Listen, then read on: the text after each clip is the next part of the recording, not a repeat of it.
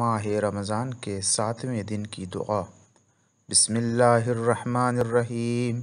اللہم اعنی فیہ علی سیامہ و قیامہ وجنبنی فیہ من حفواتہ و آسامہ ورزقنی فیہ ذکرک بدوام۔